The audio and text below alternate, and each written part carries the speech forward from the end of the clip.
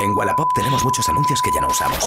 ¿Quién te iba a decir que vendiendo este carrito ¡La Play! ¡Un patinete fantástico! o el espejo de tu abuela harías de este mundo un mundo más sostenible? Por eso, hemos querido hacer como vosotros y darle una segunda vida a nuestros anuncios. Wallapop, si no lo usas, súbelo.